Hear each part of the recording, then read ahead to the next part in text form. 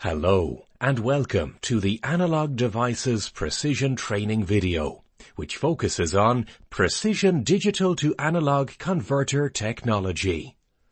This video will go through the details of the key specifications associated with DACs. These include resolution and accuracy, the key objective is to provide an understanding of how these relate to the static performance specifications of a DAC. Before diving into detailed specifications, we will quickly remind you what a digital to analog converter or DAC is. A DAC, in the most simple form, converts a digital input signal, ones and zeros, into an analog output signal. This is done with respect to a fixed reference voltage value. The reference voltage determines the output range of the DAC. The number of digital input codes of a DAC is the number of possible combinations of ones and zeros. 2 to the n is the total number of possible combinations, where n represents the number of bits. Remember that the least significant bit, or LSB, is the smallest increment in a DAC. The LSB weight is calculated as the reference voltage divided by the number of digital input codes. Full scale is the highest digital output that the DAC is able to output. Full scale translates into a value of Vref minus 1 LSB in the analog domain. Since no precision DAC architecture is able to reach actual reference value at the output of the DAC. The ideal analog output of a DAC is then calculated as the product of the LSB weight by the digital input. It is important to note that the analog output of a DAC can only exist at discrete levels. As previously explained, these discrete levels, or steps, correspond to the resolution of the DAC.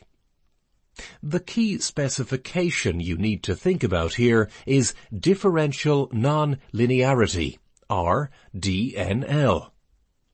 Another key point to note in relation to a DAC is the accuracy.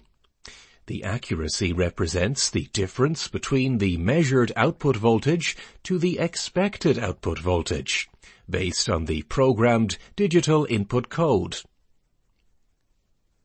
Integral nonlinearity, INL, is the key specification for accuracy. We will now take a look at these two key specifications, DNL and INL, in more detail. Uh, starting out with DNL specification.